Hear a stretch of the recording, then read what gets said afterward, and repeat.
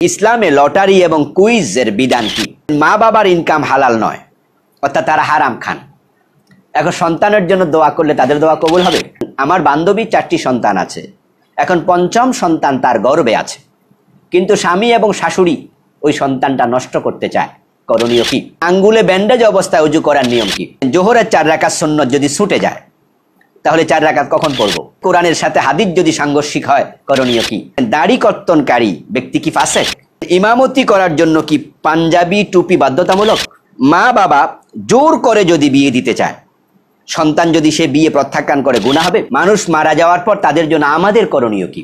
Islamic media TV কোরআন হাদিসের কথা বলে। ইসলামে লটারি এবং কুইজের বিধান কি? লটারি জায়েজ। যদি সেখানে কারও পুঁজি বিনিয়োগ না হয়।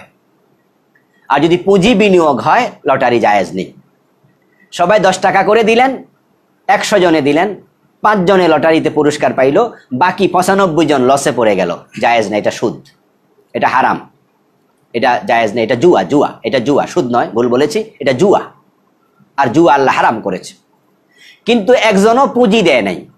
এমন লটারি। যেমন ধরেন কোনো মার্কেট মালিক বলল, আমাদের এখান থেকে যারা খরচ করবেন, তাদেরকে আমরা প্রণোদনা হিসাবে, উৎসাহ বাতা হিসাবে একটা মোটরসাইকেল দেব, একটা ফ্রিজ দেব, ইত্যাদি আমরা পুরস্কার দেব। এটা আমরা কিনে দেব।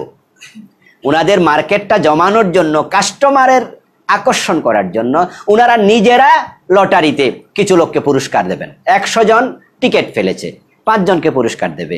যে পঁচানব্বই জন পায় নাই, তাদের কিন্তু কোনো লস নাই। এজন্য এটা জুয়া না রাসুসাল্লাহ সাল্লাম যখন উনি জেহাদে যেতেন, উনার স্ত্রীদের মাছ থেকে একজনকে সাথে নিতেন। তো স্ত্রী আছে এগারো জন। দুইজন এতেকাল করেছে, বাকি আছেন নয় জন। নয় জনের নাম লিখে কোনো একজনকে দিয়ে টান দিয়ে তুলতেন। যার নাম উঠতো তাকে নিতেন। এই লটারি জায়েজ। এ জাতীয় করা যেতে পারে। আর লটারির সাথে আরেকটি প্রশ্ন ওনার ছিল, কুইজ। কুইজের ব্যাপারও ঠিক তাই।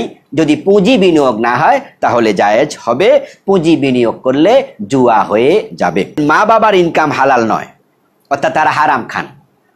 এখন সন্তানের জন্য দোয়া করলে তাদের দোয়া কবুল হবে? ইবাদত কবুল হবে না, কিন্তু দোয়া কবুল হবে।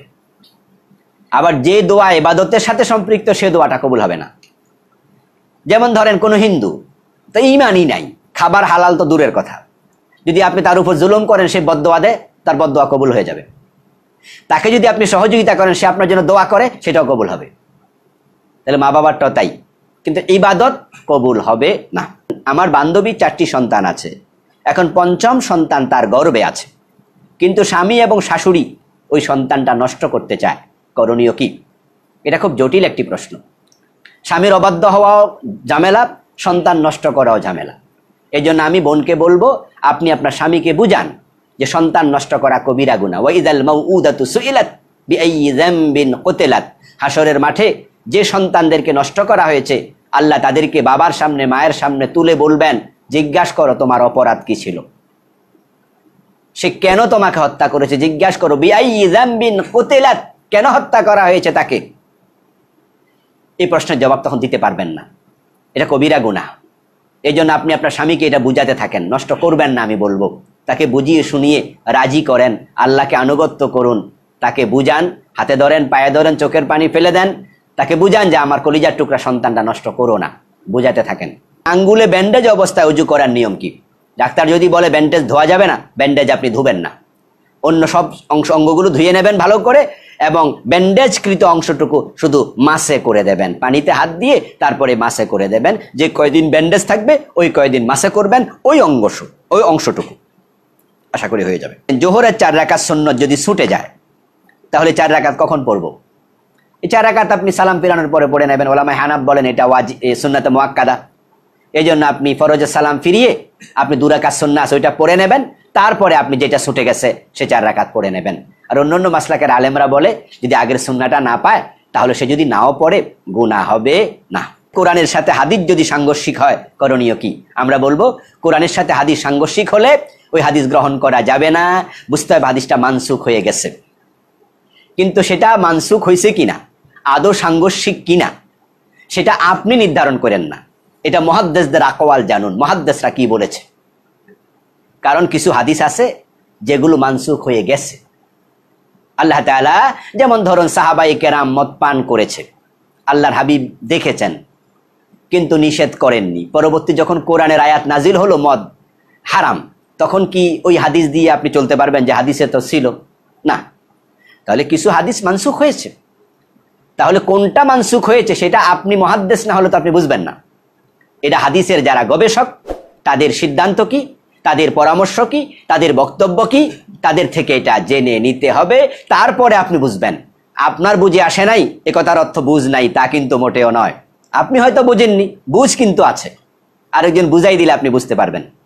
আশা করি বুঝতে পেরেছেন। দাড়ি কর্তনকারী ব্যক্তি কি ফাসেক? জি, ফাসেক। দাড়ি রাখা ওয়াজিব। এটা আবশ্যিক। রাসুল আদেশ করেছেন। সুতরাং এটা তরক করা কবিরা গুণা আর কবিরা গুণা যে প্রকাশ্যে করে, তাকে ফাসেক বলে। এই জন্য কাজটি করবেন না। এমন ব্যক্তির পিছনে একটাদা করা যাবে? বলেছি আগে, ভালো পাইলে খারাপের পিছনে একটাদা নয়। কিন্তু যদি কখনো এমন হয়ে যায় যে যার দাড়ি নাই, হেই মামতি করতেছে, তাহলে একটাদা করবেন। আরেকজনের দাড়ি আছে লম্বা, কিন্তু কেরাত ভুল। আরেকজন দাড়ি নেই, কিন্তু কেরাত শুদ্ধ। এই অবস্থায় আমরা বলব যে, যার কেরাত শুদ্ধ, তার পিছনেই আপনি একটেদা করুন, যদি দাড়ি নাও থাকে।